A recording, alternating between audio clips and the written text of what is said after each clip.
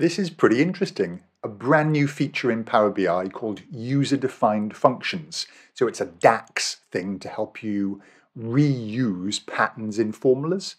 So I'll do two examples to show you how it works. It's a preview feature. So you do have to turn this on via File, Options and Settings. Options, Preview Features, tick the box. Don't use this in real world yet. But essentially what it does is allows you to set pattern, set a DAX pattern that you want to use, and then you can pass variables into that rather than having to rewrite the formulas over and over again. So here's the general construct. Uh, you, you have to write it in the DAX query view or the, or the TMDL view. You define the function, okay? So that's the function name. You call it whatever you want. Let's call it fn adding, okay? And I'm just going to put in a couple of parameters, a and b, okay, and then my function is actually going to be a plus b. Okay, great. And then I can evaluate this, I can test it. So this is my going to be called my fn adding, see it pops up here. I like to put fn in front of my functions, you know, I'm going to use that pattern so it really pops out to people that it's a function. Um, and then I just want to put, I don't know, 10 and 20. So when I run this and test it, there you go, it gives me 30 as the output. Okay, bit of a basic example just to get you familiar with the concept.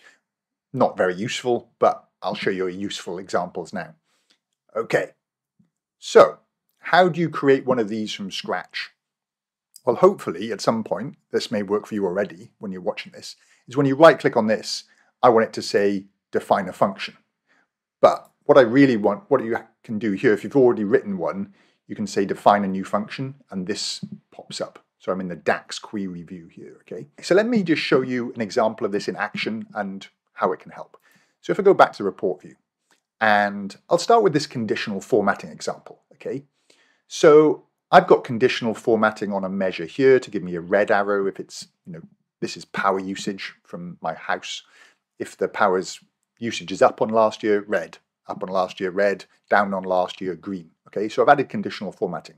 I've also got a totally different sort of measure that I'm, I'm analyzing here, and I want the same rules to apply. Okay, so I could apply conditional formatting to a measure over and over again, but all I've done here is, let me show you this one, I've written a function called conditional formatting rule. And all that function says, I'll show you in a second, is if it's less than zero, red, positive, if it's more than zero, green, and if it's neutral, gray. Okay, so then if I'm chopping and changing, so that's the usage prior year.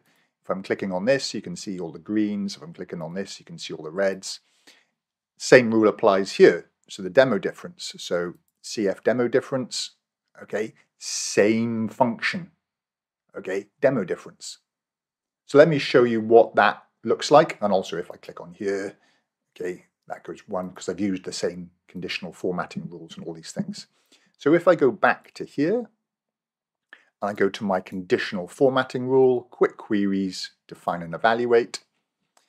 So this is what I wrote. Define, function, okay, that's how you start off.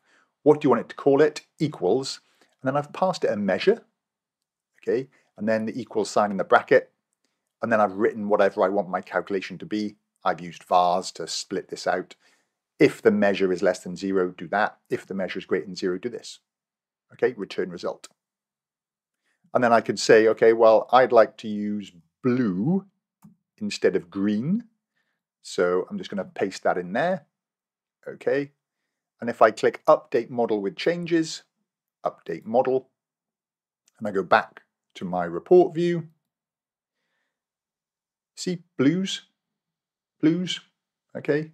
And if I click on this, sort of a light blue, if I click on that, the blue. So it's basically changing it in one place and it affects everything. Another example, okay, lifetime to date. Maybe I've got my lifetime to date measure. This maybe was my uh, original lifetime to date measure for usage in kilowatt hours in my house. So I'm doing this sort of pattern. But then I want to do another one for power generation for my solar panels year to, lifetime to date and another one for something else life to date. So I'm just copying this logic. It's the same pattern over and over again.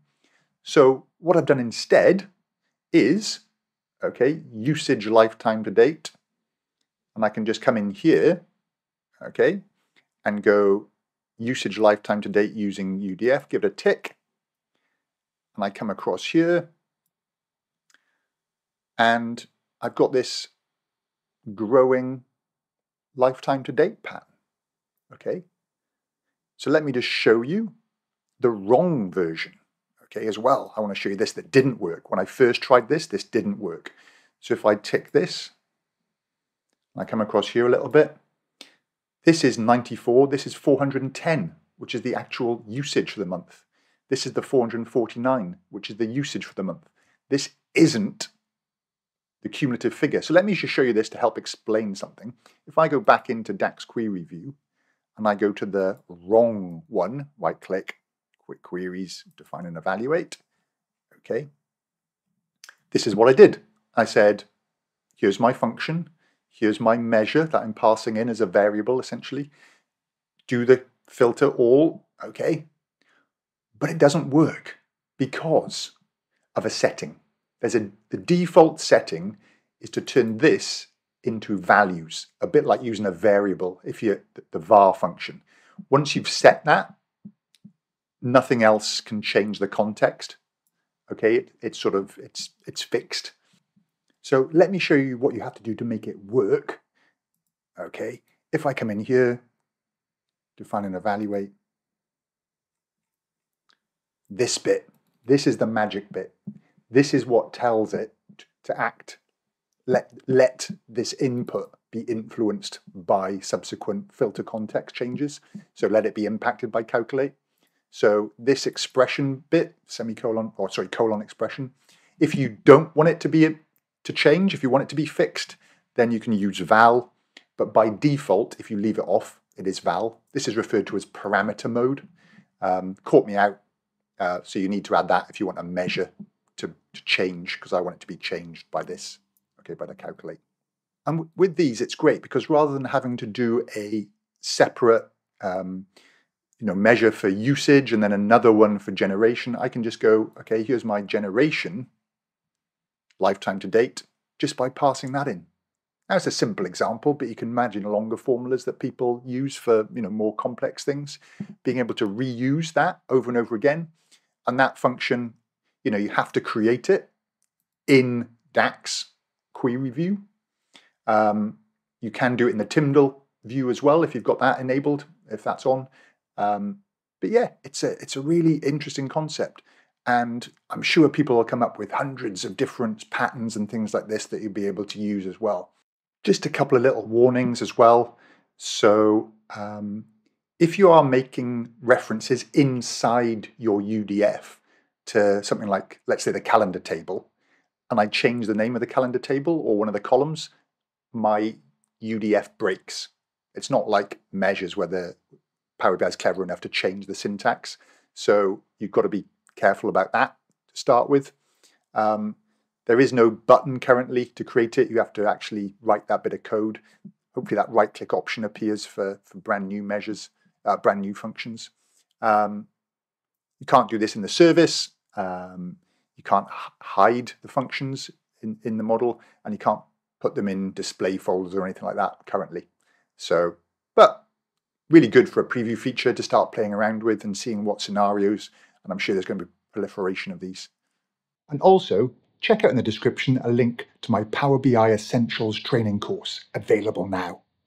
So first look at this, I, have literally not used it in real life yet, but I can see some pretty good use cases. Um, what use cases have you had? Do you have? Do are there some patterns um, that you'll use? People could find that really useful if you post that in the comments. And hope you enjoyed this, and I'll catch you in the next video.